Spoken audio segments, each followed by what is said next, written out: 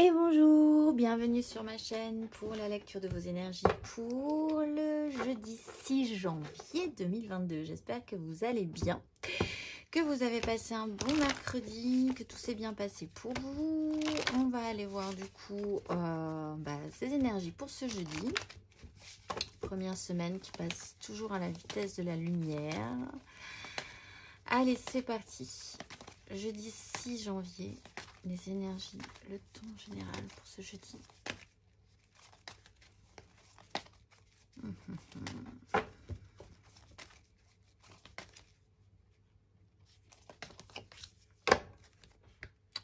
Bon, alors on tourne toujours quand même beaucoup autour des mêmes énergies. Le jugement, le monde, la mort, euh, la lune, le fou.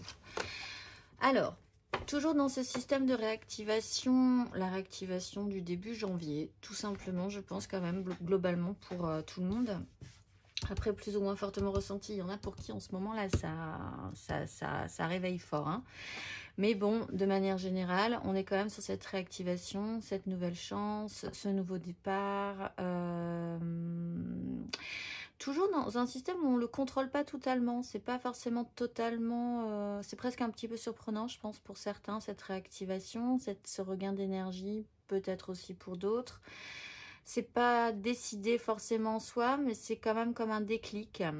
Euh, il y a toujours cette fin de cycle et cette transformation. Allez, on va aller voir. Pour ce jeudi, on est toujours un peu dans les mêmes énergies de toute façon.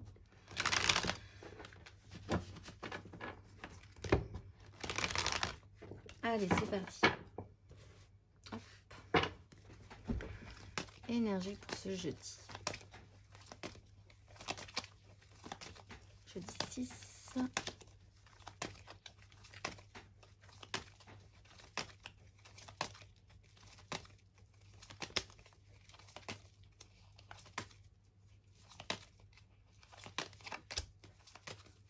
Ah, 3 d'épée. Le retour. Allez, qu'est-ce qu'on va en faire de cette 3 d'épée Le pape.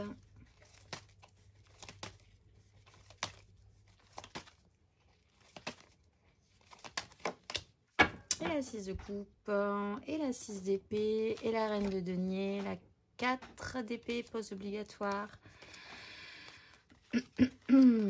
bon, alors, bon, alors, alors, alors, alors, alors. Il y a une réactivation, peut-être quand même une évidence, une énergie nouvelle à gérer cette 3 d'épée pour certains. Encore une fois, ça ne se pose pas comme on avait prévu. Voilà, c'est l'idée générale. Euh, donc, euh, on avait peut-être envisagé des choses pour aujourd'hui et il fait le, ben voilà, la vie fait que non ou que ce ne sera pas forcément comme on l'avait envisagé. Euh, ça tient possiblement à quelque chose au-dessus de vous, euh, une façon de penser, des normes, un cadre, une structure, quelque chose de très officiel, rester dans les rangs, etc., etc. Par rapport à une relation peut-être euh, à beaucoup plus de simplicité. Alors, du coup, comme ça se passe pas forcément très bien, on peut envisager que vous essayez ou que ça touche à une certaine idée de la nostalgie ou de relations qui étaient douces à étendre avec quelqu'un d'autre ou avec d'autres personnes, à un équilibre émotionnel, euh, de, revenir un petit peu à ça, peut-être avec nostalgie. Donc je disais du fait que ça ne marche pas tout à fait correctement aujourd'hui, il y a peut-être une officialisation, ça permet de clarifier des choses. Cette 3 d'épée, si elle est ressentie, c'est que quand même ça vous fait quelque chose. Donc ça peut activer euh, une mise en lumière, une évidence pour vous, quelque chose qui pourrait être un tout petit peu plus officiel. Aussi par rapport à ces, échanges, cet équilibre émotionnel, ces rapports, encore une fois peut-être nostalgiques avec euh, certaines personnes ou ou juste euh, avec les échanges que vous avez avec quelqu'un d'autre en fait aujourd'hui dans votre journée comment ça pourrait être simple alors que peut-être l'histoire vous prouve aujourd'hui que ça ne l'est pas forcément. Euh, et ça clarifie quelque chose chez vous ou en tout cas ça crée un déclic. Alors on va aller voir émotionnellement ce que ça nous donne Pour certains, euh, basiquement aujourd'hui, la réalité fait que euh, très officiellement, il va falloir s'occuper des enfants. si on veut être terre à terre, basique to basique. Allez, c'est parti. Émotionnellement. Et bon, c'est des énergies, alors... Euh, voyons voir.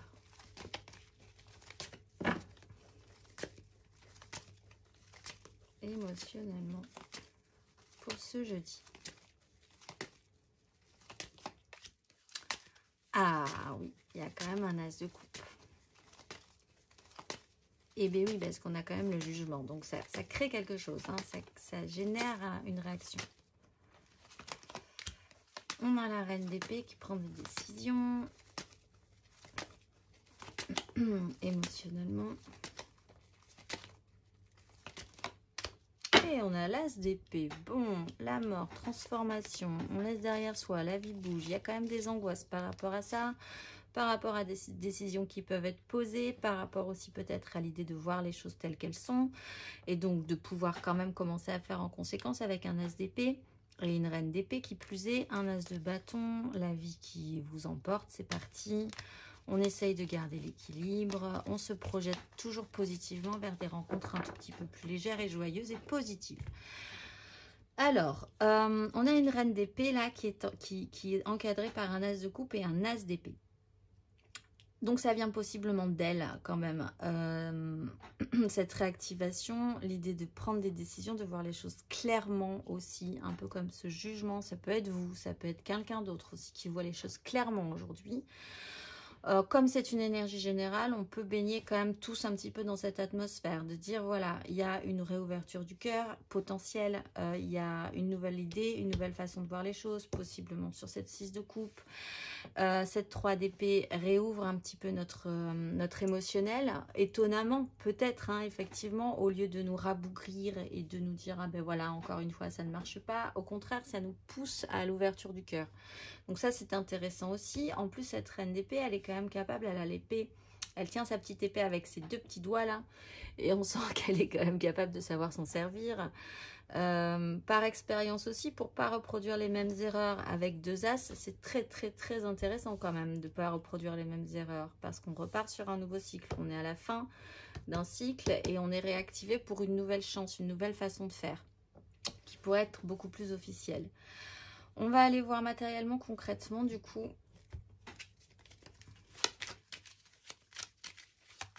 Matériellement, concrètement.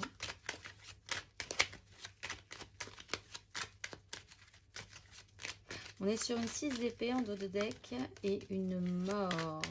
Et le monde. On passe quand même un cap. Hein. Alors, matériellement, matériellement, pour ce jeudi 6 janvier la matérialité.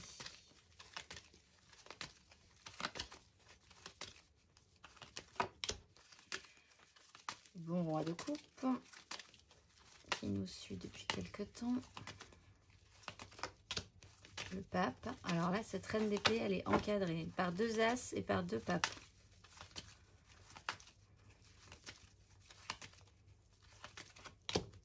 Et la six de bâton. Avec le cavalier de bâton, on y met un coup sur une 10 de coupe. On bascule émotionnellement, on revient à un équilibre. On a un tout petit peu mal à, se projeter quand même, à prendre des décisions, mais on a l'étoile. Et on essaie quand même de faire des choses. Alors, un roi de coupe, quoi de mieux En plus, il est quand même sur une réalité qui ne fonctionne pas et une ouverture du cœur. Il y a une réactivation. Ce roi de coupe, il est mature, il est capable de faire quelque chose avec cette histoire-là. Faire quelque chose avec cette énergie d'as de coupe. Euh, il est peut-être... Euh, c'est peut-être vous, hein. Mais ça peut être aussi quelqu'un d'autre, effectivement, qui arrive cette fois-ci à, faire quelque chose de la situation, à pas se laisser déborder non plus, à avoir cette cette praticité-là de la vie, euh, de sa vie émotionnelle et, du coup de ce que ça pourrait générer euh, bah, matériellement, concrètement dans, sa vie et dans celle des autres. Il y a le pape, alors là, cette reine d'épée, vraiment, elle est très encadrée. Euh, il y a quand même, on est quand même cadré. C'est-à-dire qu'il y a quand même une officialisation, je pense. Là, il y a une vision beaucoup plus structurée des choses, de nos croyances, de ce qu'on veut porter. On peut être confronté malgré tout hein, à une rigidité supérieure à nous. Mais avec cette reine d'épée, on arrive quand même à, à faire ce qu'on veut là-dedans, à faire ce qu'on veut dans ce cadre-là. Euh, pour d'autres, il y a vraiment cette officialisation et cette clarification de ce qu'on veut, de cette foi, de ce qu'on veut porter avec ces nouveaux as. il y a une 6 de bâton, il y a quand même la victoire des désirs. Peut y avoir quelque chose de beaucoup plus officiel et, ça peut marcher là, ça peut matcher. En fait, on parle vraiment de cette 3 d'épée qu'on a vraiment eu du mal à gérer euh, ces derniers mois parce qu'elle revenait, elle était dure. C'est compliqué cette 3 d'épée, on l'a tournée dans tous les sens, on a essayé d'en faire quelque chose. Et là, je pense que quand même, on arrive maintenant à faire quelque chose avec cette énergie. On sait comment elle fonctionne, comment elle nous fait réagir aussi. Donc il y a une 6 de bâton, victoire des désirs, un égo gonflé à bloc. On sort quand même possiblement victorieux d'un petit chaos euh, externe ou interne. Mais là, c'est matériel et concret, donc ça peut être externe peut y avoir des petits problèmes de communication avec les autres, mais ça, peut bien se terminer. Euh, on va aller voir les énergies aidantes et challengeantes là-dessus. Toujours les amoureux. La 10 de demi sur une méga structure, un méga clan.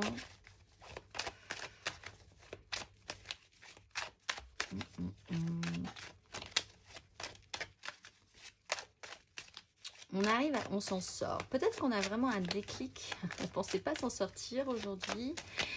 Et tout à coup, la bonne idée. Ah, paf Le gros déclic, le truc qui permet de, retomber sur ses pattes.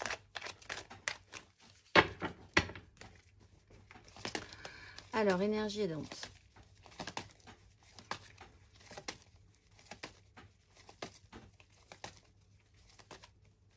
Ce jeudi.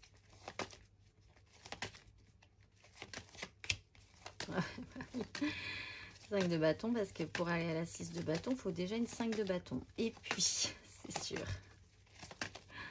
Challenge.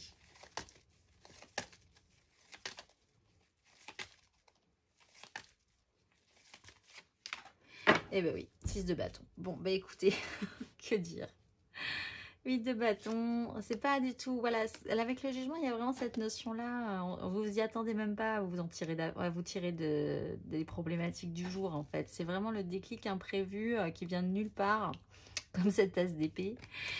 Euh, création, impératrice, euh, le fou, voilà, qui permet d'engager ses désirs, de se retrouver plutôt content. Alors, on déstructure des angoisses quand même, on clôture quelque chose, toujours sur cette 10 du denier. Bon, on maîtrise pas tout, mais ça marche bien en fait. Ce qui va nous aider, c'est de passer par cette 5 de bâton. Donc n'hésitez pas. Écoutez, c'est peut-être euh, la solution. Parfois, il faut re-rentrer dans un petit chaos, brasser tout ça euh, pour essayer, pour voir quand même euh, déjà ce qu'on a, notre adaptabilité, notre façon aussi de se sortir des, situations, notre capacité d'écoute alors qu'on la passe pas du tout. On n'avait pas du tout envie d'écouter les autres non plus. Il faut parfois rentrer dans le chaos pour pouvoir se rendre compte qu'on peut en sortir. En plus, c'est une 5 de bâton, donc c'est pas forcément très grave non plus. Donc, euh, allez-y, baignez dans la vie, quoi. C'est la vie qui, va, la vie qui, vient. Euh, c'est des énergies diverses et variées qui peuvent s'entrechoquer et qui sont pas forcément très productives tout de suite, mais qui peuvent générer quelque chose en tout cas. Euh, le challenge, c'est quand même d'arriver à cette 6 de bâton. Bon, évidemment, du coup. Mais bon, comme on l'a quand même matériellement, concrètement, on peut envisager que ça peut bien se passer. Le petit challenge de la 6 de bâton, ça pourrait être aussi quand même de calmer un tout petit peu, de redescendre un peu, euh, de pas penser que... En fait, il y a une notion d'ego là.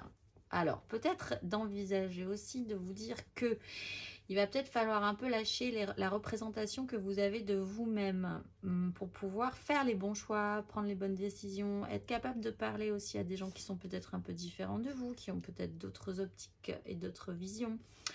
Hum, même si ça colle pas avec votre image, etc avec ce que vous voulez représenter, avec euh, voilà.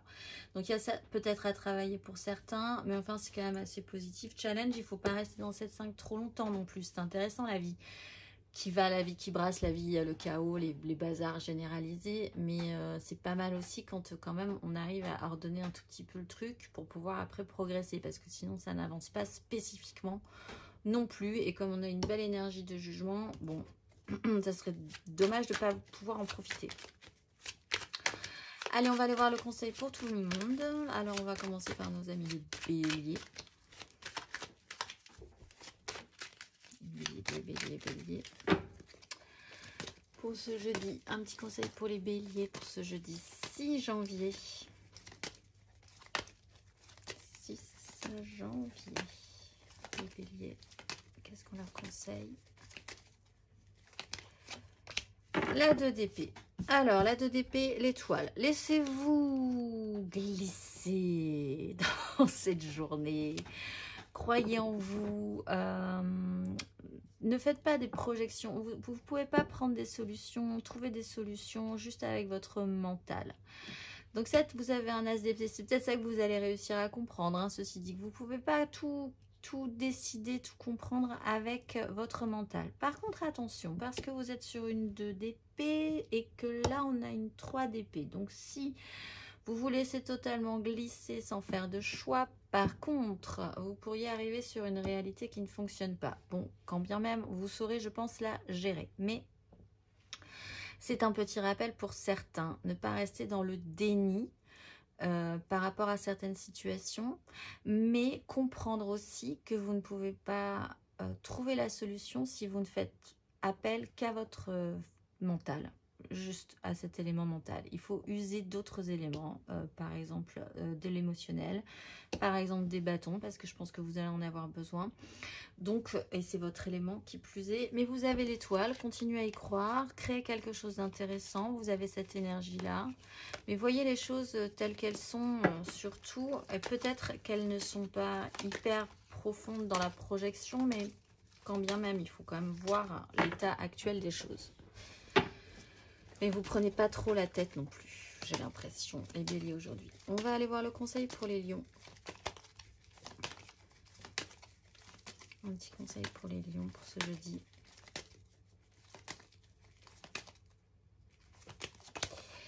Roi d'épée. Alors, par contre, prenez des décisions. La vie change, il faut que ça bouge, comme dirait la chanson. oui, et puis alors de manière très très pratique avec la reine de denier avec un beau contrôle hein, et puis beaucoup de deniers. Faut y aller là, faut trouver tous les, faut user de malice, faut prendre des chemins de traverse, il faut avoir un mental d'acier, il faut ordonner ce qu'on a envie de faire, vraiment beaucoup plus précisément, prendre de grosses décisions pour vous les lions aujourd'hui. On va aller voir le conseil pour les sagittaires. conseil pour les sagittaires.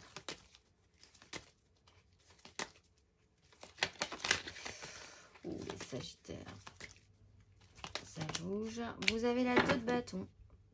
Et vous allez pouvoir y arriver, même s'il y a quand même un peu de crainte là-dessus. As d'épée. Pouvoir d'attraction, décision, patience. Une 3 de coupe qui peut se transformer en 3 d'épée. Ça, ça vous stresse pas mal. Ça met un petit peu le bazar. Donc, essayez de vous projeter positivement quand même. Hein. Continuez à vous projeter de manière intéressante. Il y a une nouvelle voie à prendre. Il faut y aller. Mais en même temps, est-ce que vous n'avez pas envie de rester là un petit peu en attendant de voir? Bon, quoi qu'il en soit, on vous parle de réactiver des désirs, de réactiver votre élément. Il faut se pencher un tout petit peu plus sur la question. Il faut toujours rester actif sur ce qui vous ferait vraiment, ce qui vous donnerait envie, ce qui vous stimulerait les Sagittaires aujourd'hui. On va aller voir le conseil pour les Gémeaux. Un petit conseil pour les Gémeaux.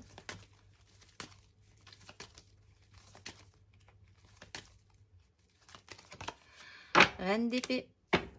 Alors vous, c'est toujours le même conseil un petit peu les Gémeaux. Hein. Bah, prenez des décisions.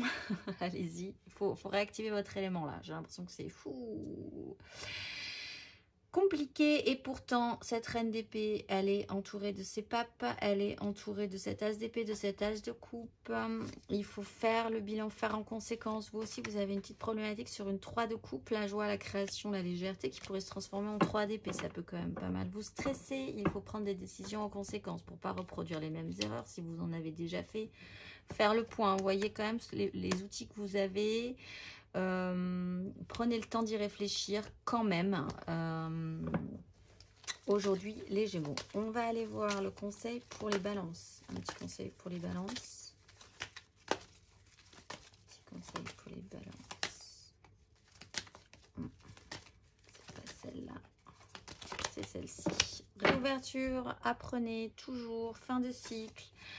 Il y a des petites angoisses, il y a un émotionnel un tout petit peu compliqué sur une relation amoureuse peut-être. Il y a une réactivation, savoir que vous voulez un véritable équilibre, achever un vieux système, vous remettre au boulot. Euh, bah, soyez encore toujours et encore apprenant, ouvert sur la question. Apprenez de nouvelles choses. Allez vers ce qui vous ne connaissez pas par cœur aussi. Redécouvrez l'enthousiasme de l'apprentissage et de la découverte. On va aller voir le conseil pour les versos. Un petit conseil pour les versos. 10 de denier les versos et 7 euh, d'épée. Bon, alors là, il faut user de malice. Il faut faire attention aussi à la tromperie, à la duperie. Il y a des gens qui pourraient vous faire des coups à l'envers. Mais en même temps, c'est sur une objectif de 10 de denier. Donc, c'est sur un méga clan. Pourtant, euh, quelque chose d'important pour vous. Une méga construction. Vous avez votre part là-dedans. Donc, euh, essayez de voir quand même, faites le point euh, dans ce que vous voulez dans cette histoire-là, dans cette 10 de denier. Essayez de tempérer la situation. Euh, faites attention à vous là-dessus. Usez de malice si vraiment vous avez vraiment besoin d'aller quelque part avec cette 10 de denier ou de l'amener quelque part. Par contre, faites attention aussi à certaines trahisons dans cette 10 de denier. Voilà. Mais cette 10 de denier centrale est importante. Donc, euh, réfléchissez à la valeur que vous voulez y mettre et à la part que vous voulez avoir dedans. On va aller voir le conseil pour les cancers. Un petit conseil pour les cancers ce jeudi.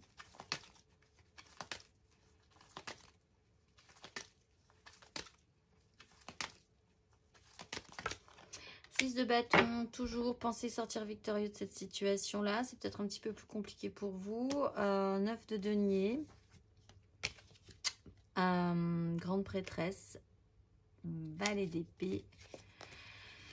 Bon, mais pensez que vous allez pouvoir sortir victorieux. Regonflez-vous à bloc. Faites aussi attention à ce challenge qui était quand même de dire pour certains que euh, il va peut-être falloir redescendre d'un cran sur l'image que vous voulez représenter, ce qui vous empêche peut-être d'aller vraiment vers des personnes euh, qui vous feraient du bien aussi, parce qu'on peut s'interdire de sortir de son rang, euh, les cancers.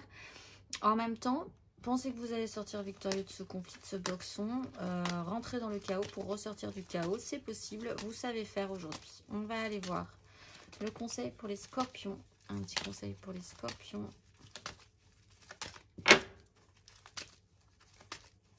Pour ce jeudi.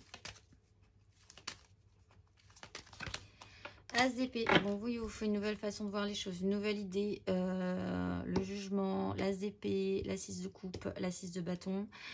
Euh, pouvoir d'attraction, travaillez-y, faites le point. Vous aussi, cette 3 de coupe peut se transformer en 3 d'épée. Il faut vraiment trouver l'astuce, la nouvelle façon de voir les choses, la nouvelle idée, le réactionnement, les scorpions. Si vous sentez que ça vient, c'est la bonne idée, c'est la bonne, allez-y. Euh, vous allez, on va, pourquoi vous allez? On va aller voir vous allez y arriver, pourquoi pas. Euh, on va aller voir les poissons. Un petit conseil pour les poissons. Euh, cavalier de bâton, mettez-y un coup, ça vous intéresse, ça vous donne envie, il faut y aller, il faut remettre le petit coup qui va bien là, euh, partir vite. Ça va pas tenir trop sur la longueur, donc gardez cette engagez cette énergie parce que quand elle est là, il faut la saisir, il faut y aller. Valet de bâton, il y a besoin de prendre un petit peu de temps introspectif à l'intérieur de soi, d'isolement aussi, pour être vraiment content, savoir ce qu'on veut, sortir de l'illusion, faire des choses pratiques et concrètes pour vous bien vous organiser, sortir d'une prison mentale. Euh, mettez-y un coup les poissons aujourd'hui, c'est le moment. On va aller voir le conseil pour les taureaux. Un petit conseil pour les taureaux pour ce jeudi. 10 d'épée. Bon, alors là, point trop d'infos pour vous les taureaux. Vous êtes quand même un peu au bout du concept. Ras-le-bol. Euh, ben, achevez tout ça. Hein. Voilà, goutte d'eau qui fait déborder le vase. Réactionnement, vous avez un as, d'épée qui vous attend. Vous avez un as de coupe. Vous avez des décisions à prendre. C'est cadré, c'est structuré. Achevez un vieux système. Euh, continuez à travailler sur la question quand même pour aller dans la matérialité et arrêtez de vous prendre la tête sur des choses qui franchement ne vous nourrissent pas, ne vous mènent à rien et que c'est bon. Soyez dans la matérialité. Vous avez l'étoile, vous avez l'impératrice. Confiance, courage, c'est parti. On va aller voir le conseil pour les vierges. Un petit conseil pour les vierges.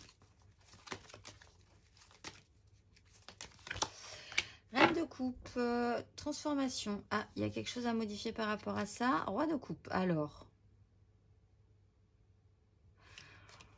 Alors, alors, pour certains, il faudrait peut-être passer du côté féminin au côté masculin ou inversement. Peut-être faire attention à votre émotionnel qui peut être un peu débordant aujourd'hui, les vierges, une surémotivité.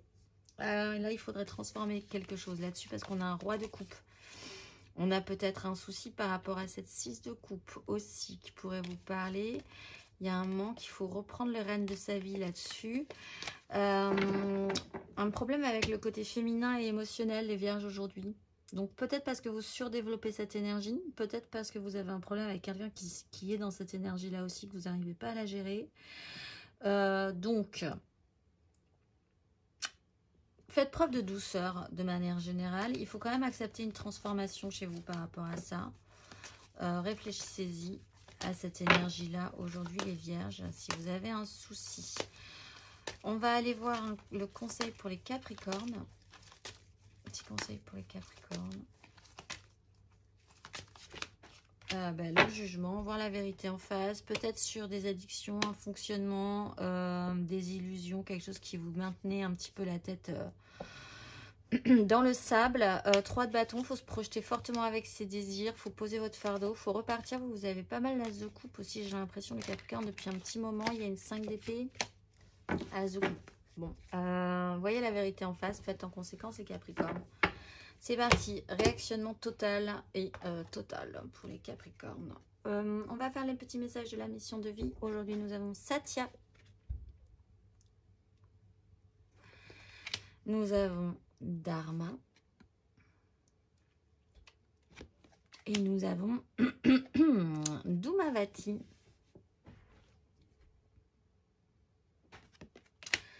Allez, c'est parti. Pour ceux qui auront choisi Satya, un petit message pour les gens qui auront choisi Satya. Tu peux tout surmonter, tout ce que tu vis, tu peux le traverser, sinon ton âme ne l'attirerait pas. Tu as une force intérieure dont tu ne soupçonnes pas la profondeur. Crois en toi et bientôt tu sortiras de cette impasse. Pour ceux qui ont choisi Dharma, un petit message. Tu es prêt à passer à l'étape supérieure. Bravo pour le chemin parcouru. Tu es exactement au bon endroit, au bon moment. De grandes choses t'attendent, de nouveaux défis et de merveilleux cadeaux. Et pour ceux qui auront choisi Bhumavati, Écoute les véritables désirs de ton cœur. Tu es tiraillé entre les volontés du cœur et le sens des responsabilités. Ton cœur possède une sagesse immense. C'est ta connexion au divin. Ose lui faire confiance et il te mènera au succès. Allez, on va aller voir la petite carte d'inspiration pour clôturer ce tirage du jeudi 6 janvier 2022.